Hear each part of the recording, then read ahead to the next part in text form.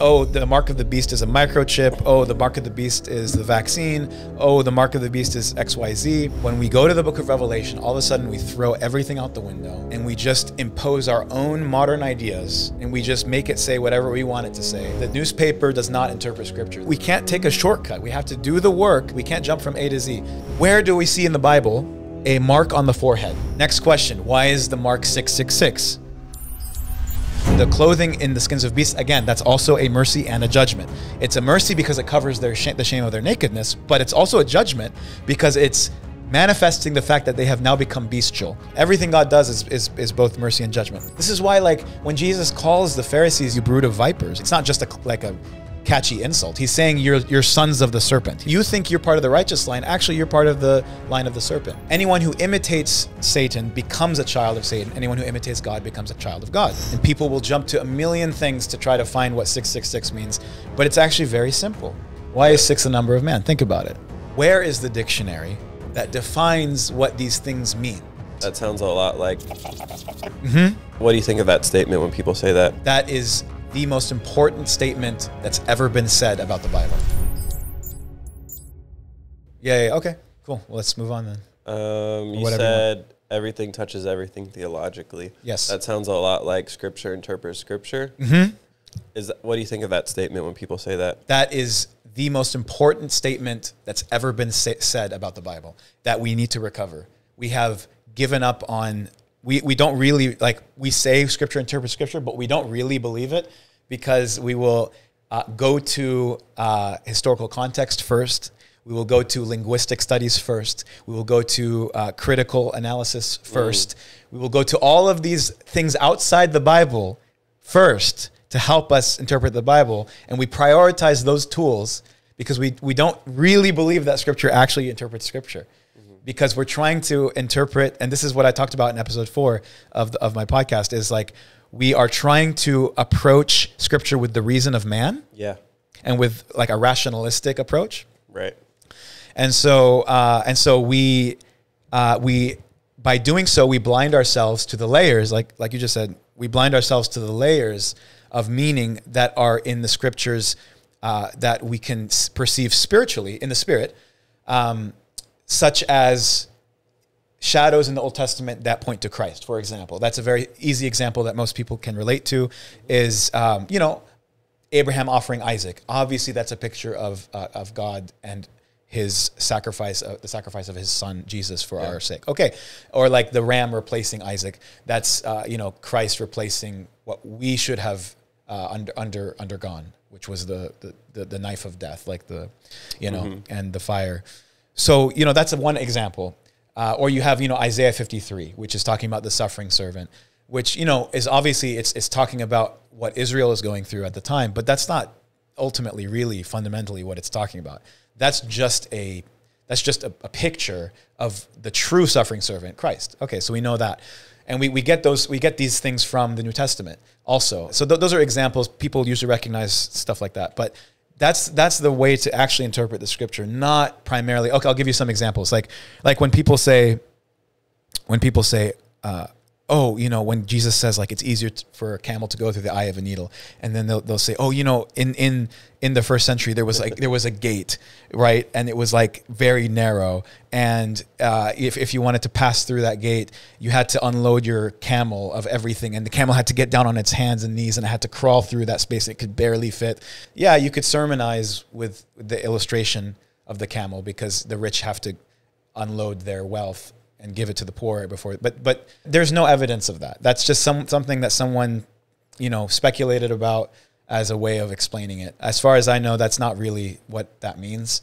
Um, but that but that's just an example of how we jump to historical context to explain something uh, instead of asking the question well wait a minute. What does the bible mean by this? What does jesus mean by what's what's where do we see references to camels or uh, where do we see uh, references to his greater topic about the rich and how is it that they're able to enter the kingdom? Now i, I just i, I want to be actually slow to go through these, these examples because i don't want to disparage pastors and preachers who have used these examples. Anyway, but to but to go back to your question, to go back to your question. Quick interruption. I just want to say and point out we are actually going to talk about this example and this text and many more examples in the live stream coming up this week, Thursday, April 11th at 6 p.m. Pacific Standard Time. So jump on with your questions and we'll talk about not only this example but many more where we use historical context as a way of actually cloaking and hiding uh, and obscuring the meaning of the text rather than revealing it. Another example would be, for example, uh, when we talk about the yoke of Christ, Matthew 11, come to me, all you who are weary, take my yoke upon you. We usually refer to the yoke used on the oxen and then we stop there. But Jesus' whole point is that he's actually changing and transforming the image of the yoke. It doesn't have to do primarily with a historical artifact, but rather to a scriptural reference. If you think about it, what other uh, place in the Bible do we carry a yoke we see the Levites carrying the Ark of the Covenant. We see Christ carrying the cross. So we'll talk about that. We'll talk about um, Jesus preaching at the on the boat from uh, across the waters from the boat to the people on the shore. It's not primarily because he's using the natural properties of the water to enhance or amplify his preaching voice, which is what we often hear. And then, you know, when we hear these historical um, explanations, we get a false sense of satisfaction about the meaning of the text, and we walk away rather than continuing to dig to the true meaning that's far beyond any of these kind of historical references to the scriptural references. Where does the scripture talk about uh, the uh, the sea and the boat and uh, the shore and the people on the shore? And there's a lot more beauty and depth and richness uh, in that episode to explain what's actually happening. So we'll talk about that. We'll talk about even perhaps the historical context that we use to change the meaning of the head coverings in 1 Corinthians 11.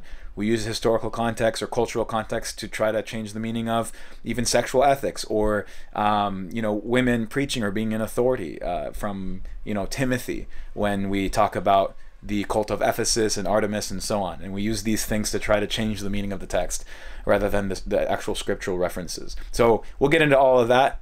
Uh, bring your questions. Um, there's many more examples I have written down here. Or leave your questions in the comments on this video if you can't make it to the stream or if you're not sure. Whatever comes to mind, go ahead and leave a comment and I'll go ahead and answer it during the live stream. So leave it in this video. Now, on top of all of that, we'll also get into the biblical symbolism of circumcision, Sabbath, the temple, everything from last week's episode, and everything from this episode right here about the mark of the beast, the biblical numerology of 666, and the book of Revelation, which we will get into right now. Anyway, but to but to go back to your question, to go back to your question, scripture interprets scripture. Yep.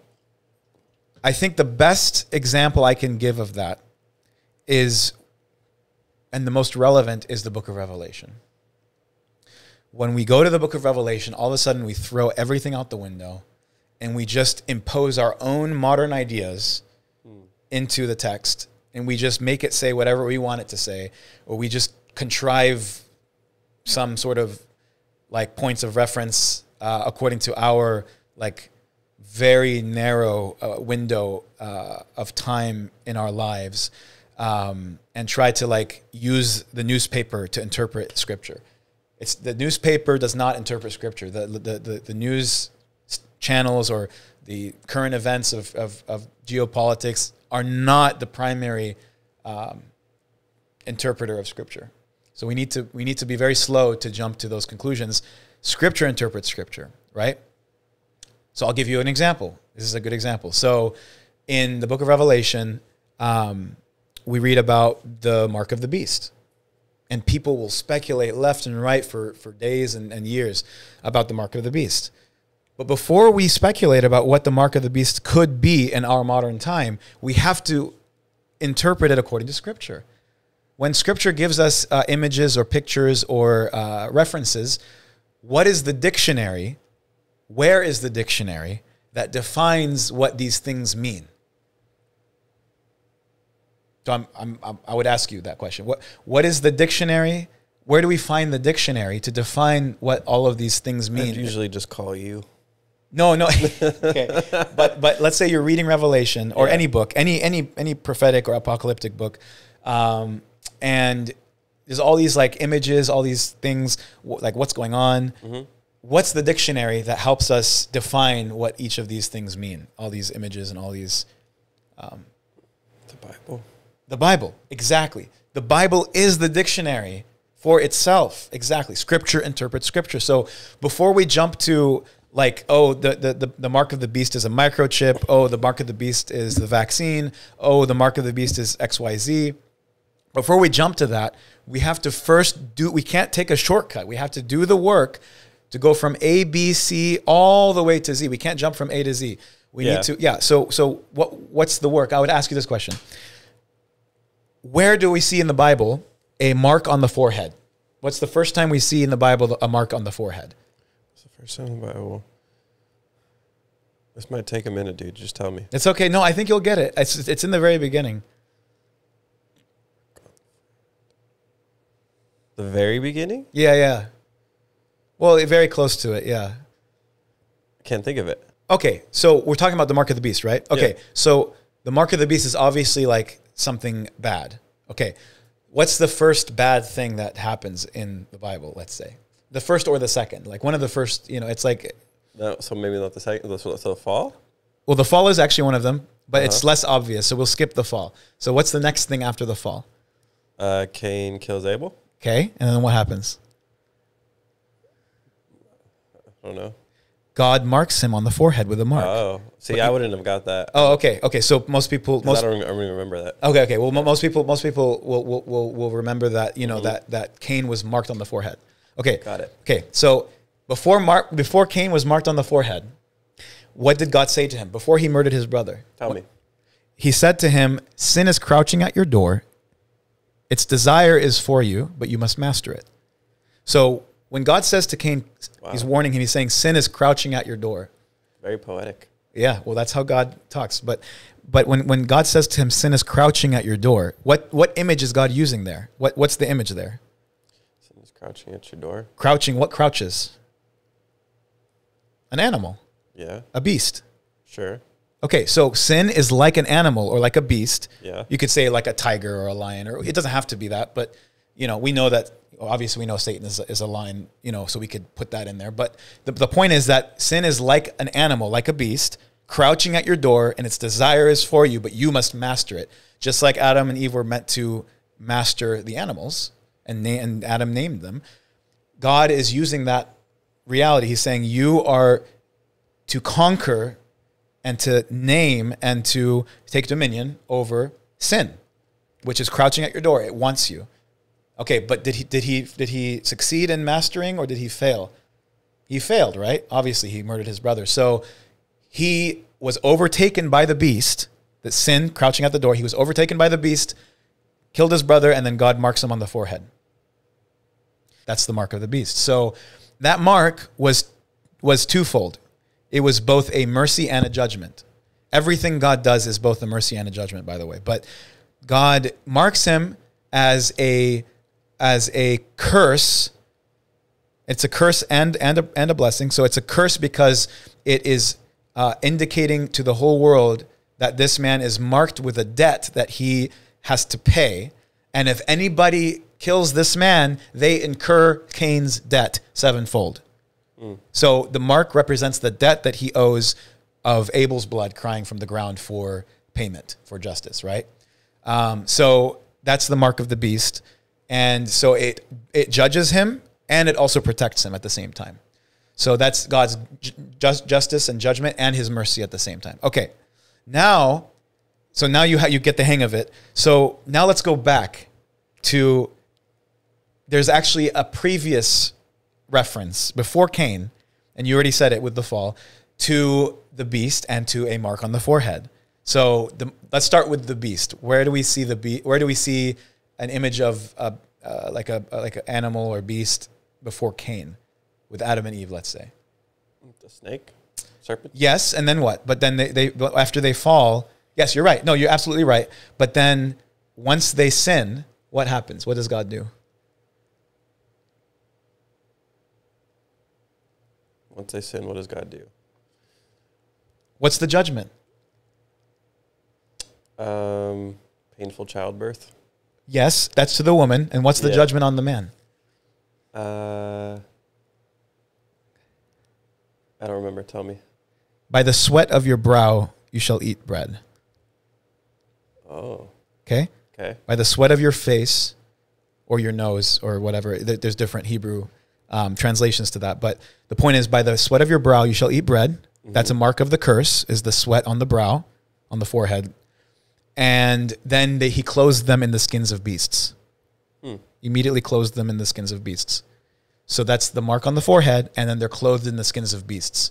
The, the, the clothing in the skins of beasts, again, that's also a mercy and a judgment. It's a mercy because it covers their sh- the shame of their nakedness, but it's also a judgment because it's manifesting the fact that they have now become bestial. They're covered in the skins of beasts because they have become like beasts. They descended from the divine image into the bestial image by sinning. And so, and and so now they are uh, clothed in the skins of beasts as a, uh, as a, as a picture and a manifestation of their nature, which has which has now been corrupted, and uh, and so they've lost their glory. Now their glory is no longer divine; it's bestial, um, but it's also a mercy because it covers the shame of their nakedness. Okay, so that's both mercy and judgment. Everything God does is is, is both mercy and judgment. Noah's flood is a judgment. Obviously, but it's also a mercy because it cleanses and renews the whole earth and gives to the righteous a new world free from vi- violence, right? So God, this is you can read a lot of about this in in a, in a book by Gentry and who's the other guy? Gentry and Wellum, I think. They wrote a book, a very very good book. So I would I would recommend that um, as well. But anyway, so uh, God's mercy and judgment are always two sides of the same coin. Um, so you have the mark of the beast with Adam and Eve, the, the sweat on the brow and the covered in the skin of beasts. You have the mark of the of the beast with Cain, uh, marked on the forehead, and sin crouching at the door like a beast has overtaken him. You see this continue, and then we can skip ahead, let's say, to uh, Nebuchadnezzar, who i- i- because he ex- exalts himself, he becomes like a beast for seven years, right? And he um, he turns he, he turns into an animal, like a, he eats grass like an ox. His hair grows long, his fingernails, and he loses his his reason. So he becomes like a beast. And then the rest of the book of Daniel also uses the images, the image of beasts, like the rams and the ghosts and goats and the visions, as images of pagan rulers, wicked, godless, pagan emperors who conquer the world, take dominion, world empires. Okay, so so over the course of the scriptures, we see a development of this image of the, the beast and the mark. Next question Why is the mark 666? Right? And people will jump to a million things to try to find what 666 means, but it's actually very simple. It says right there, it, it says it in the verse. It says, This is the number of man, or this is the number of a man. Why is six the number of man? Before we go to 666, let's just start with six. Why is six the number of man? Think about it. Was man made on the sixth day? Exactly. You nailed it. Man was made on the sixth day. What else was wh- what? I should say got him. What else what else was made on the sixth day? Uh, don't ask me. I don't know. The beasts. Oh, and then they named the beast. Mm-hmm. So man and beast were made on the sixth day. That's why it's the mark of man and the mark of the beast. That's why the number is six. Mm, Okay. Interesting. Now, why is it 666? In, he, in the book of Hebrews, it says that mankind failed to enter God's rest, specifically Israel, but Israel as a, as a mm-hmm. representative of mankind failed to enter God's rest. So man failed to, to move from the sixth day to the seventh day. They, they never entered God's rest Got it. They they stayed stuck on the in the sixth day. Okay, so mankind is stuck in day six. They're stuck there. They have not yet entered God's rest. Now we who are in Christ enter God's rest because Christ was the true Adam, the true man who finally broke past that, broke through that, and he brought us into the seventh day. So Christ, this is why, by the way, this is why uh, Sabbath has moved from uh, day seven to day eight or day one, from Saturday to, to Sunday. But I'll, I'll, I'll come back to that later. But my point is that Christ puts to death, and he embodies all of mankind. He embodies all of the old creation in himself, and then he is crucified and takes on the death that creation incurred. He puts it into the grave. He buries that old creation. He buries the, the, the sixth day, which is when he died, by the way. He died on Friday, the sixth day. The same day man was made is the day that man dies, the true mm. man, Christ. So Christ finally fulfills the sixth day and says, It is finished. It is finished, referring to what? The old creation finally being completed and us finally entering this, the true Sabbath, like the Sabbath that we failed to enter. So we, we have now entered, we have, he has buried the old creation. He's buried the old man. He's buried Adam into the grave. And then he rises into a new Adam, a new humanity, a new creation. He himself being that thing. He, he is the new creation. He is the new Adam. So he uh, ushers in the conquest of death. He ushers in a new creation. He ushers in a new mankind, which is uh, mankind of the eighth day, having passed through the seventh day, which the eighth day is the eternal rest. That this connects to circumcision being on the eighth day of, of, of Israelite birth, uh, but we can come back to that later.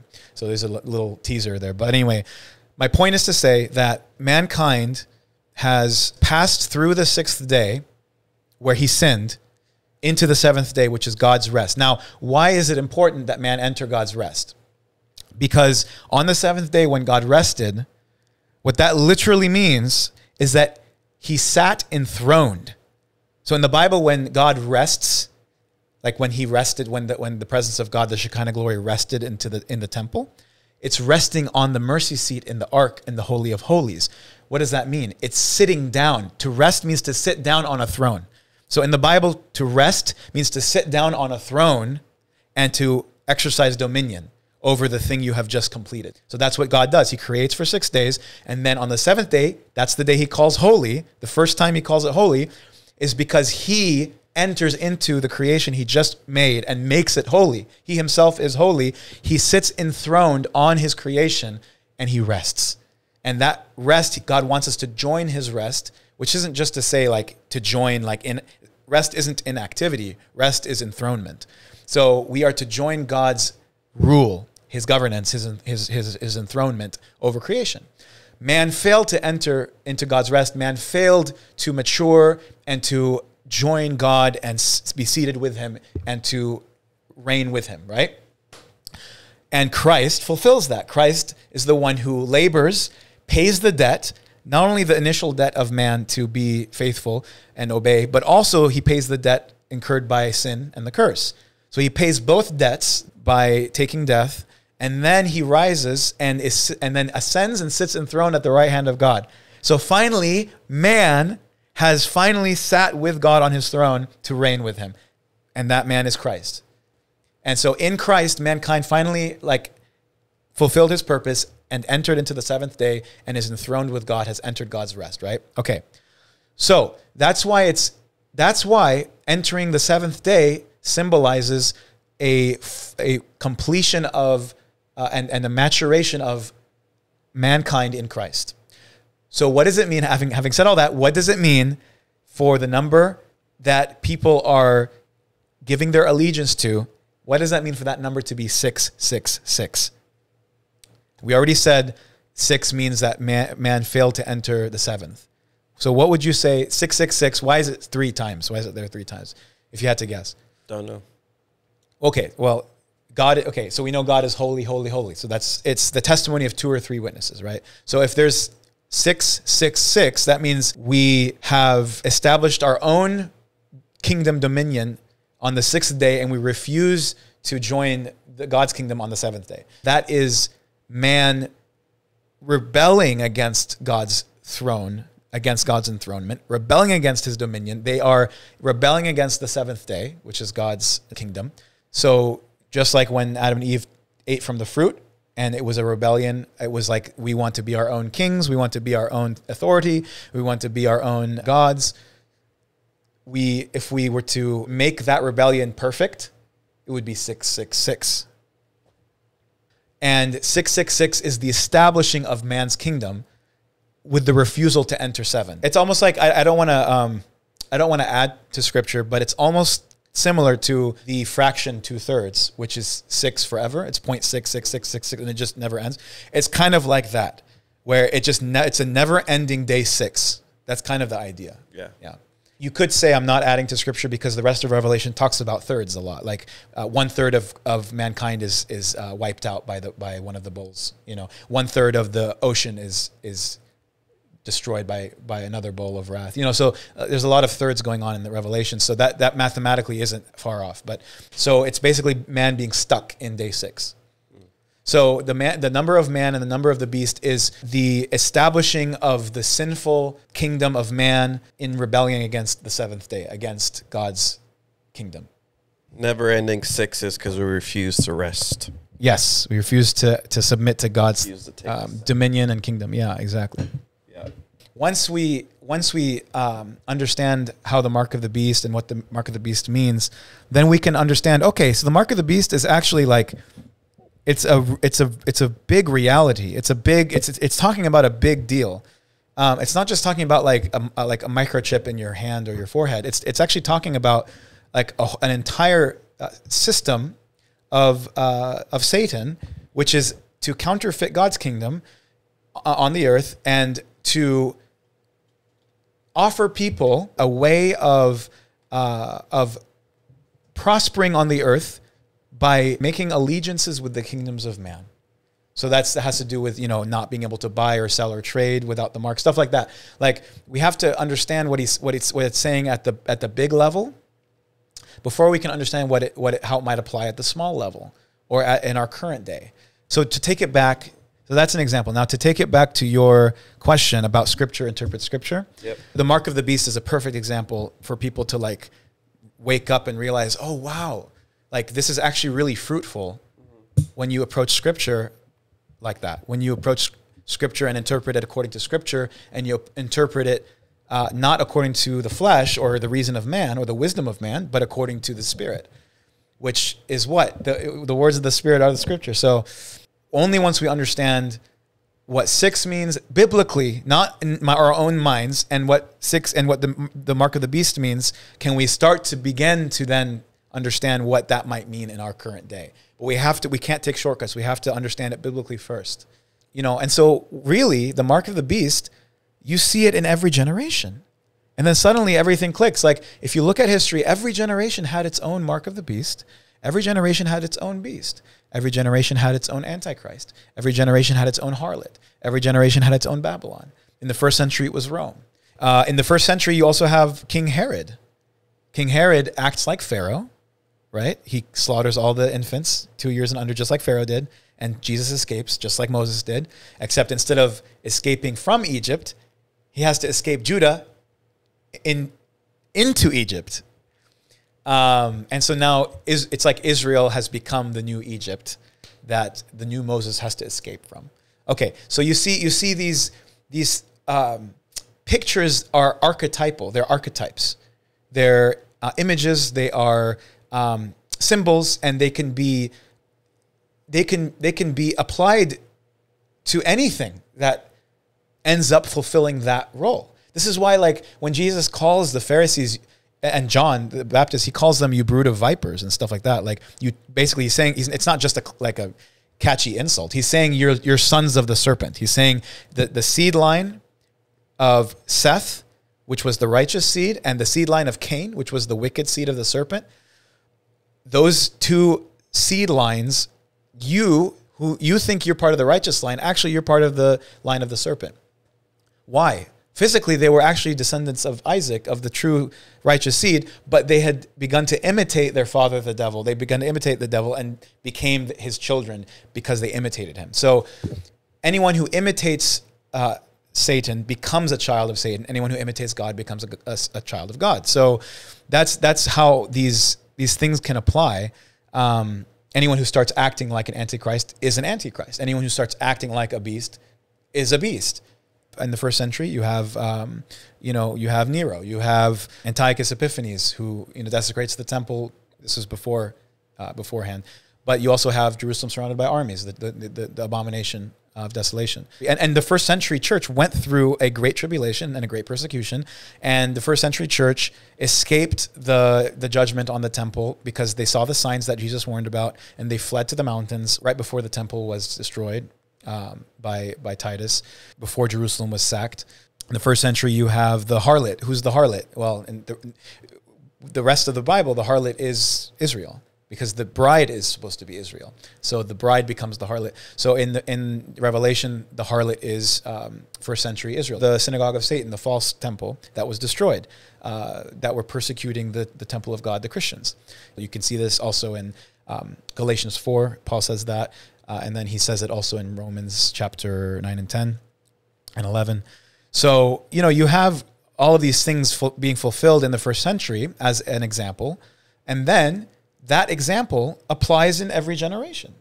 So, you know, there's some generations where it's more obvious than others. You could say, for example, like with the Reformation, you know, that's uh, maybe an obvious example where um, the church had become corrupt and the bride had become like a harlot, and there was an antichrist who uh, was set up in the temple of God as if he was a, a you know a vicar of Christ, but there was a lot of corruption, and he was they were acting uh, as an antichrist like John says, First John, you know, um, many many antichrists have come. Antichrist is someone who's against Christ. So that's one example. You know, you have like you could even say like Hitler. You could say that's an obvious example. Let's say. Um, that's an easy, you know, example where you know he, he you could say that he was a, a beast, because the beast is what we already saw. Beast is um, wicked, godless, pagan emperors that take dominion um, in a violent way, right? So, um, and exalt themselves, and so on and so forth. So, you you have to see it at a bigger level before you can apply it to what it may translate to in the modern time practically. Um, but anyway, the, my point is to say that's that's an example of how what you said, Scripture interprets Scripture, is most obvious. Where we need that because otherwise we can make anything say anything we want.